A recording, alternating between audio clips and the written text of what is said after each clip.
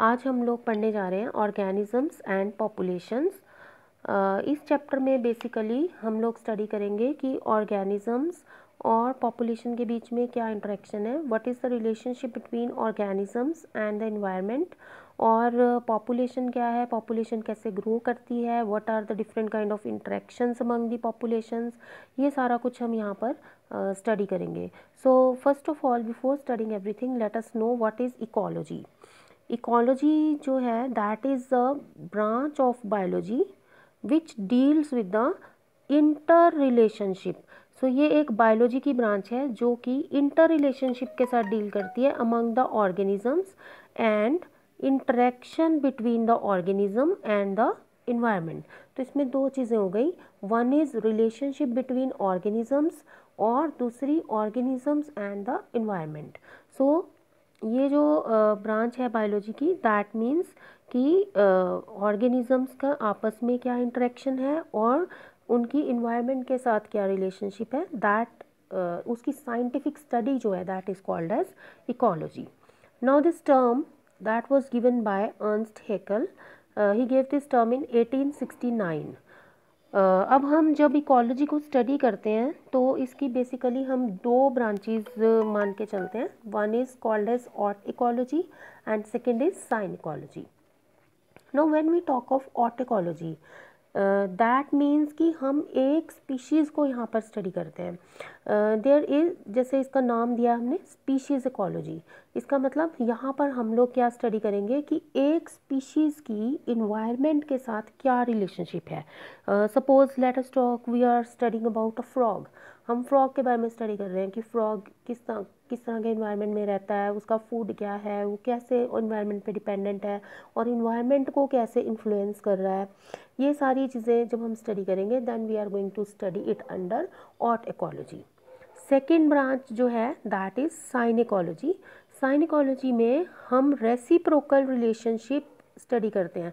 अब यहाँ वर्ड आया रेसिप्रोकल रेसिप्रोकल का मतलब यहाँ पर भी हमने पढ़ा है ऑर्टिकोलॉजी में भी रेसिप्रोकल का मतलब है कि जैसे एक ऑर्गेनिज्म इन्वायरमेंट को इन्फ्लुएंस करता है उसी तरह से दूसरे दूसरी साइड पर जो इन्वायरमेंट है वो भी ऑर्गेनिज्म को इन्फ्लुएंस कर रहा है। सो so, इस तरह की रिलेशनशिप को हम रेसिप्रोकल कहेंगे। सो इन साइनिकोलॉजी हम रेसिप्रोकल रिलेशनशिप्स को स्टडी करते हैं। बिटवीन कॉम्पोजिशन मतलब बना कैसे हुआ है? ऑर्गेनाइजेशन एंड डेवलपमेंट कि जो इन एक पर्टिकुलर कम्युनिटी है वो किस तरह से बनी हुई है? मतलब उसमें कौन कौन से ऑर्गेनिजम्स हैं? कैसे एनिमल्स प्लांट्स ऑर्गेनिजम्स वहाँ पर रहते हैं? वो किस तरह से ऑर्गेनाइज है? Like lower to higher level किस तरह की उनमें आपस में इंटरेक्शन है? एंड डेवलपमेंट ऑफ़ कम्युनिटीज़ और वो कम्युनिटीज़ कैसे ग्रो हो रही हैं? और उनकी आपस में इन्वायरमेंट के साथ और आपस में उनकी क्या रिलेशनशिप uh, है?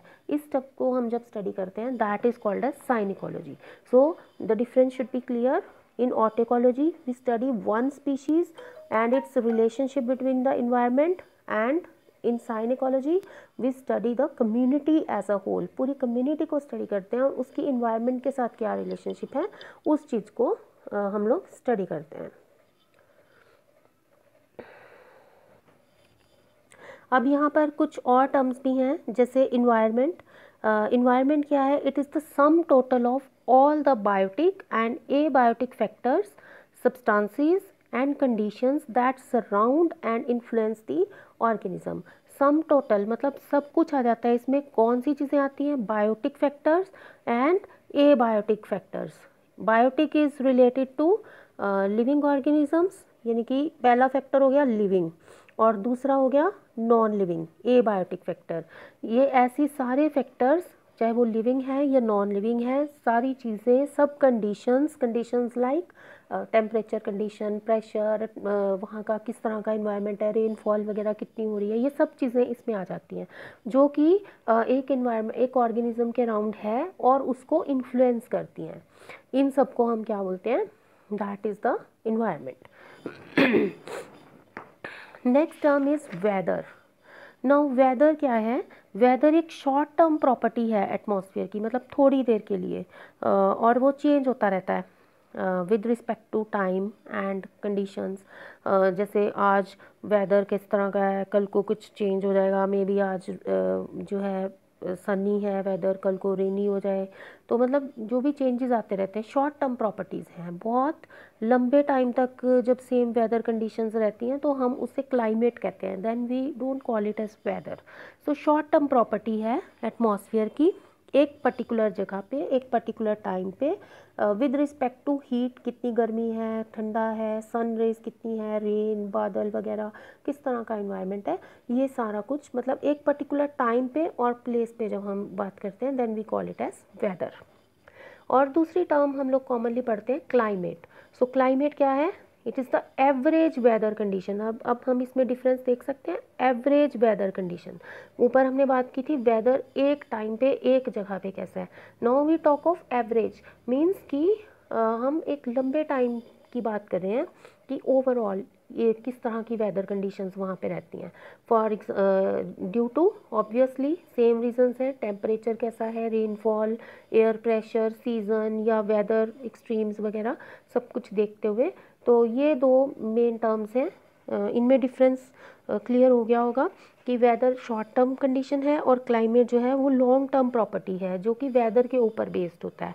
बट जैसे हम कहेंगे कि इस जगह का climate particularly suppose we talk of hilly areas की यहाँ का क्लाइमेट जो है वो कोल्ड है। सो so, वो क्यों है?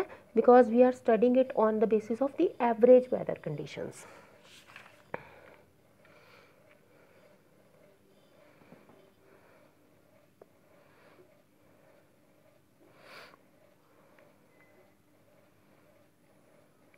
now next uh, term which we are going to study that is ecological hierarchy. Now hierarchy क्या है? Hierarchy uh, in organization जब हम उसे arrange करते हैं मतलब जैसे अब हम लोअर टू हायर लेवल की कोई भी कंपोनेंट्स को हम लोग अरेंज करते हैं तो हम उसे हियार्कियल अरेंजमेंट कहते हैं। So, हियार्की क्या है? जब हम uh, मॉलिक्यूल्स की बात करते हैं जैसे हमने uh, क्लास में किया था कि सेल पहले सबसे छोटा यूनिट जो है लिविंग ऑर्गेनिज्म का दैट इज़ द सेल फिर सेल से मिलकर टिश्यूज़ बनते हैं. Then tissues they give rise to organs फिर ऑर्गन से ऑर्गन सिस्टम्स बनते हैं. और बहुत सारे ऑर्गन सिस्टम से मिलकर ऑर्गेनिज्म बनता है जो कि हाईएस्ट लेवल पर आ जाता है. तो ये जो थी दैट वाज बायोलॉजिकल हियार्की जिसमें हमने मॉलिक्यूल uh, से लेके सेल से लेके then later on organism organism के लेवल तक की बात की थी. No here we are talking of ecological hierarchy अब जब हमने इकोलॉजी की बात की है कि ecology is the study of the relationship between organisms and the environment तो हम लोग यहाँ पर उसको इन्वायरमेंट पॉइंट ऑफ़ व्यू से देखेंगे कि हम कहाँ रहते हैं, हमारी किस तरह की कम्युनिटी है। तो यहाँ पर जब हम हियार्कियल अरेंजमेंट की बात करते हैं that is called as ecological hierarchy so इसमें हम इकोलॉजिकल ग्रुपिंग के हिसाब से चलेंगे। अब यहाँ पर जो इंडिविजुअल है, वो सबसे नीचे आता है, जो कि डिस्टिंक्ट एंटिटी है मतलब लिविंग ऑर्गेनिज्म है, जो कि इंडिपेंडेंट है और ये सबसे लोअर लेवल पर है। उसके बाद आती है population population is the group of similar individuals like we talk of population of lion particular species lion की तो वो होगी उसकी population then we talk of biotic community अब यहाँ पर जब कम्युनिटी की बात होती है तो यहाँ पर अलग अलग तरह की पॉपुलेशंस आती हैं like that of different plants animals micro organisms जो कि एक पर्टिकुलर एरिया में रहते हैं। देन उनसे ऊपर के लेवल पर हम लोग जाते हैं then we call it as ecosystem यहाँ पर इकोसिस्टम uh, क्या है? Eco word is related to environment and system जो अपने आप में एक कंप्लीट सिस्टम हो। लाइक एक ऐसा यूनिट इन्वायरमेंट का, ऐसा हिस्सा इन्वायरमेंट का जिसमें कुछ ख़ास तरह की फ़िज़िकल कंडीशंस हैं और वहाँ पर कुछ ख़ास तरह के प्लांट्स और एनिमल्स रहते हैं जो उन कंडीशंस में अडेप्टेड हैं। तो हम और वो आपस में इंटरेक्ट कर रहे हैं। लाइक वो प्लांट्स उस इन्वायरमेंट से ही सब कुछ ले रहे हैं और एनिमल्स भी मतलब आपस में वो सब प्लांट्स के ऊपर इन्वायरमेंट के ऊपर डिपेंडेंट हैं। तो इस तरह के एक यूनिट को हम लोग इकोसिस्टम बोलते हैं। Now next is landscape landscape हो गया एक लैंड का हिस्सा जिसमें नेचुरल बाउंड्री हम ले सकते हैं, लेकिन उसमें इकोसिस्टम अलग अलग तरह के इंक्लूडेड हो सकते हैं। उसे हम लोग लैंडस्केप बोलते हैं। जैसे हम साउदर्न पेनिनसुला की बात करें तो वहाँ पर कई तरह की लैंड फॉर्म्स हमें देखने को मिलेंगी, लेकिन वो अलग अलग तरह के इकोसिस्टम्स होंगे, लेकिन वो एक कॉमन लैंडस्केप है। Then next is biome biome क्या है? That is a very big region एक रीजनल यूनिट है। हिस्सा है जो कि एक पर्टिकुलर क्लाइमेटिक जोन के साथ बना हुआ है। लाइक वहाँ पर एक पर्टिकुलर तरह का क्लाइमेट है। और उसी क्लाइमेट की वजह से वहाँ पर कुछ खास तरह के प्लांट्स या एनिमल्स वगैरह पाए जाते हैं। फॉर एग्ज़ाम्पल अगर हम बात करें कि इक्वेटर के नज़दीक जो फॉरेस्ट एरिया है that region is called as tropical region तो वहाँ पर कुछ खास तरह का इन्वायरमेंटल कंडीशन होते हैं। वहाँ पर उन्हीं तरह इन्वायरमेंट में रहने वाले ऑर्गेनिजम्स पाए जाते हैं। तो वो हो गया हमारा terrestrial tropical rain forest then last of all अगर हम सबसे ऊपर आते हैं देन जो सबसे ऊपर वाला हिस्सा है that is the biosphere so biosphere क्या है? अर्थ का इनहेबिटेड पार्ट मतलब वो हिस्सा जहाँ पर ऑर्गेनिजम्स रहते हैं। और वहाँ पर ही रह सकते हैं जहाँ पर उन्हें एयर वाटर लैंड सब कुछ अवेलेबल हो। सो so, ये एक वो हिस्सा है जहाँ पर लैंड वाटर और एयर सब कुछ अवेलेबल है और यहाँ पर ऑर्गेनिजम्स रहते हैं। लाइफ पॉसिबल है। सो so, ओवरऑल पूरी अर्थ को भी हम लोग बायोस्फीयर कह सकते हैं।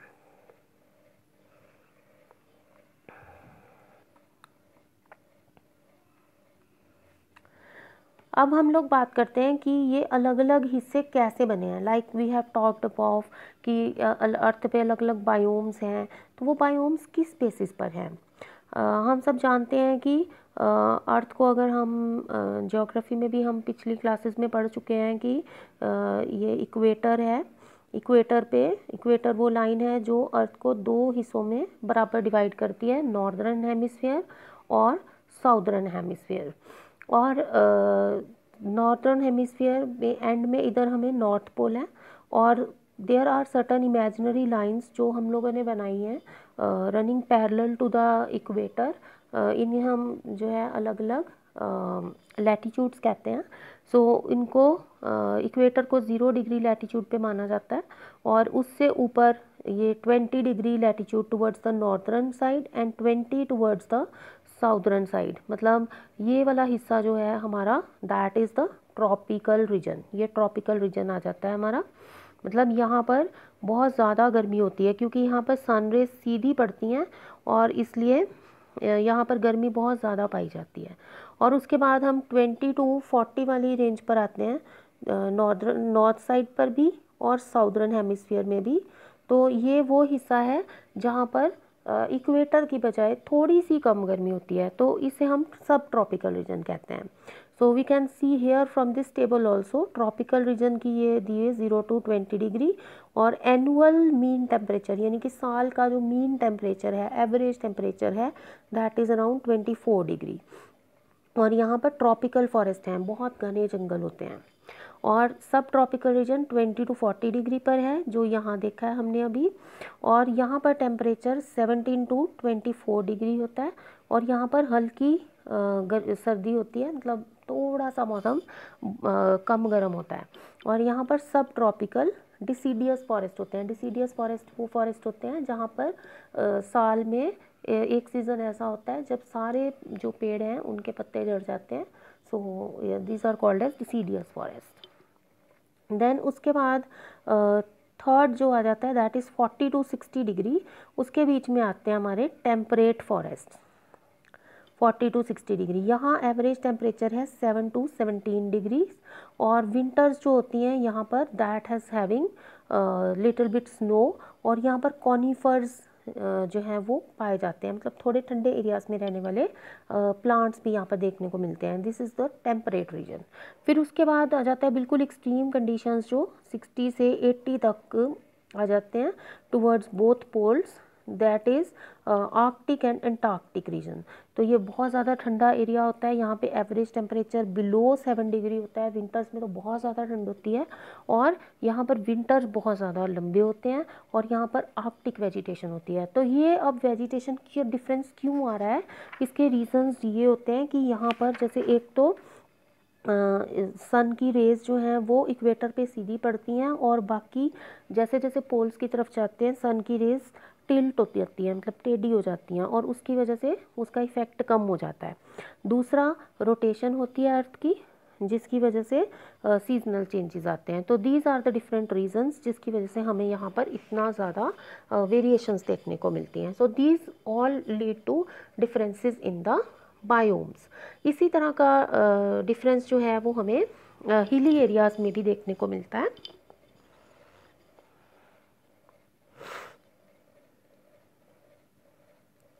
लाइक हिली एरियाज़ में भी लोअर साइड पे तो ऐसे ही ट्रॉपिकल रीजन है, फिर इससे थोड़ा ऊपर जाते हैं तो सब ट्रॉपिकल दैन टेम्परेट और फिर एल्पाइन जो कि तुंद्रा की तरह क्लाइमेट होता है और ऊपर, बहुत ऊपर टॉप पे आइस कैप्स होती हैं, ये पोलर रीजन्स जैसा होता है। तो हिली एरियाज़ में भी जब हम एक किलोमीटर ऊपर जाते हैं तो अराउंड सिक्स डिग्री टेम्परेचर का डिफरेंस हमें देखने को मिलता है। अब हम कुछ और टर्म्स करेंगे। First term is micro climate micro means small little छोटा थोड़ा से एरिया में है जो।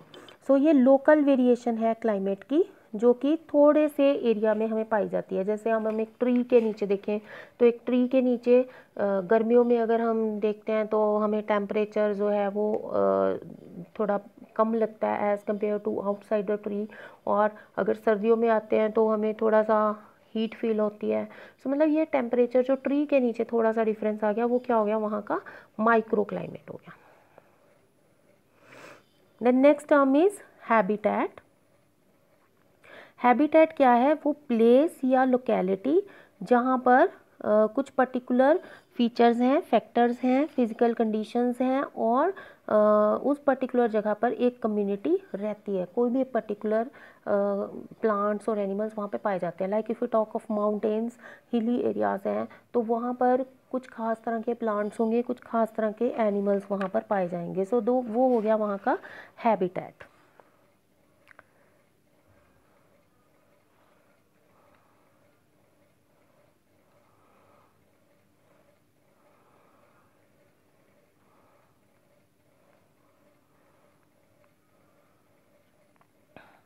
now next is regarding micro habitat micro habitat क्या है? That is the sub division of habitat ये हैबिटेट का हिस्सा हो गया जिसमें पर्टिकुलर प्रॉपर्टी है। फॉर एग्जांपल फॉरेस्ट की ज़मीन पर या ट्री की कैनोपी कैनोपी होता है ट्री का ऊपर का हिस्सा जो होता है। तो यहाँ पर मतलब कुछ खास तरह का डिफरेंस हमें देखने को मिल रहा है।